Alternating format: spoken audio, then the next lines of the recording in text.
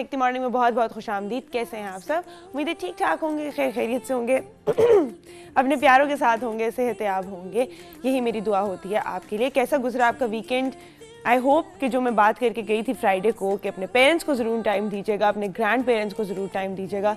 वो आपने किया होगा, आप उनसे मिले होंगे, आपने उनको टाइम दिया होगा। और एक अच्छा सा जो है फैमिली वीकेंड आपने गुजारा होगा, क्योंकि हमारे पेरेंट्स को हमारी, मैं हमेशा कहती हूँ, बहुत ज़रूरत होती है। एक बड़े मज़े की बात हुई ओवर द वीकेंड जो मैंने कहा मैं सबसे शेयर करूँगी यहाँ पर। मैं जब भी बचपन में बोर्डिंग स्कूल में होती थी तो अम्मी की मुझे कॉल आती थी रोज़ एक बजे। और मैं उस वक्त जो है बस फ़ोन के आसपास मंडला रही होती थी, क्योंकि हमारा मेन रिसेप्शन पे फ़ोन होता था। तो मैं वहीं पे बस हर वक्त फिर रही होती थी कि मतलब अभी फ़ोन आएगा, अभी फ़ोन आएगा, अभी फ़ोन आएगा। और जब भी मेरी अम्मी से बात ख़त्म होने लगती थी तो मैं उन्हें कहती थी, मामा फिर कब फ़ोन करेंगी? हालाँकि वो रोज़ मुझे एक बजे फ़ोन करती थी। मामा फिर कब फ़ोन करेंगी? मामा करेंगी ना प्रॉमिस प्रॉमिस एक बजे फ़ोन करेंगी। तो मामा मुझे कहती थी हाँ बेटा, मैं रोज़ फ़ोन करती हूँ, मैं नहीं मिस करूँगी प्रॉमिस मैं आपको कल फ़ोन करूँगी। तो एक बजे जो है उनका फ़ोन आता था। इसी तरह हर वीकेंड मिलने आती थी मामा। तो जैसे ही वीकेंड ख़त्म हो रहा होता था, शाम को वापस छोड़ने का टाइम होता था तो मैं, मामा, फिर आएँगी ना, मामा प्रॉमिस फिर आएँगी फिर आएँगी। और मैं दस दफ़ा ये पूछती थी और मामा मुझे हर दफ़ा कहती जी बेटा, मैं आऊँगी, जी बेटा, मैं ज़रूर मिलने आऊँगी, हर हर सैटरडे आती हूँ तो मैं इस दफ़ा भी मिलने आऊँगी।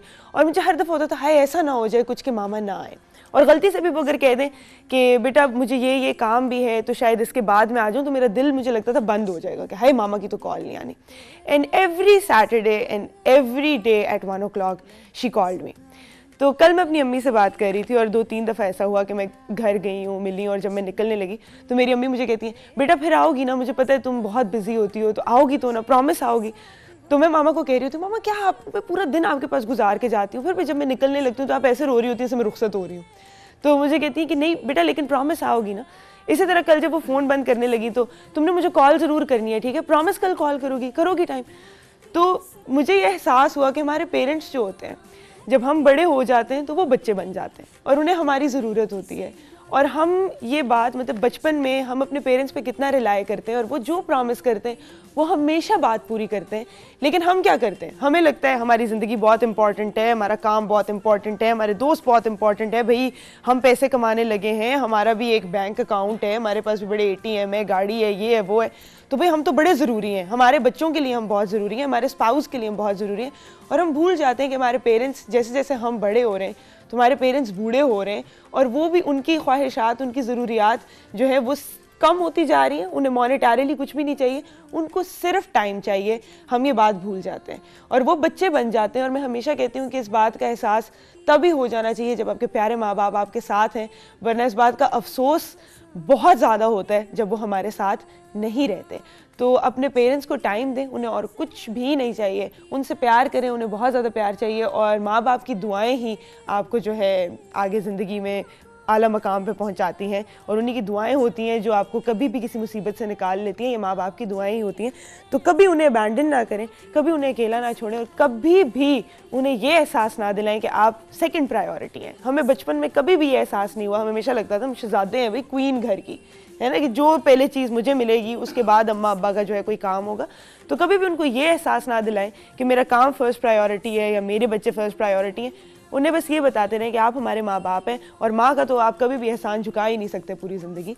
तो ज़रूर उनको जो है प्यार दिया करें, उनके लिए दुआ किया करें। यही हमारे जो है असासा है और कुछ भी नहीं है इस दुनिया में माँ बाप ही होते हैं।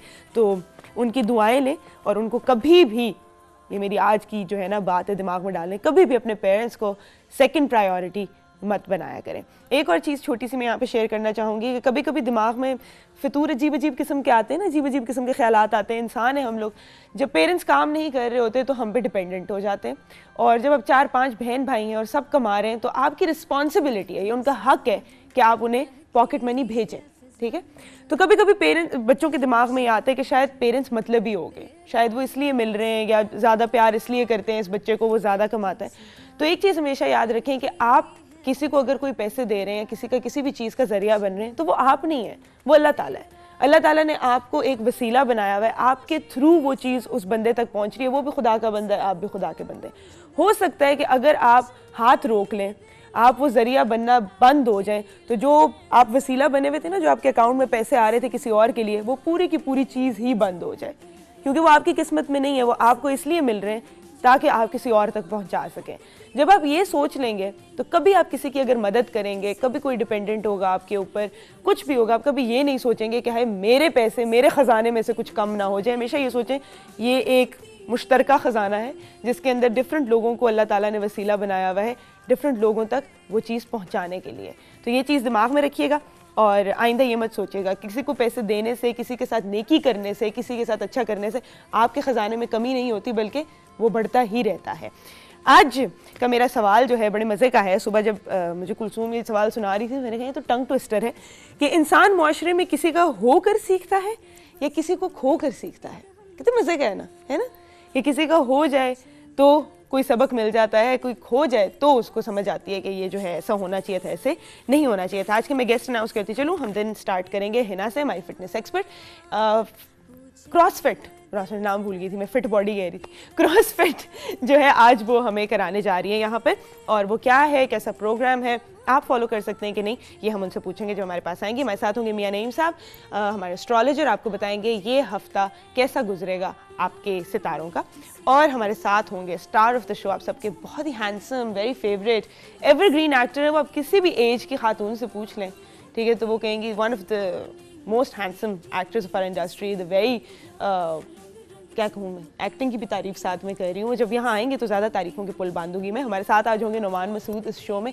बहुत मज़े मज़े की एक्टिविटीज़ बहुत मज़े मज़े के सवाल उनसे भी। और हमेशा जब भी हमारे पास स्टार्स आते हैं आपको पता ही है कैसा ही होता है। और हमारे म्यूजिशियन भाई, इसके बगैर तो शो बनता ही नहीं है।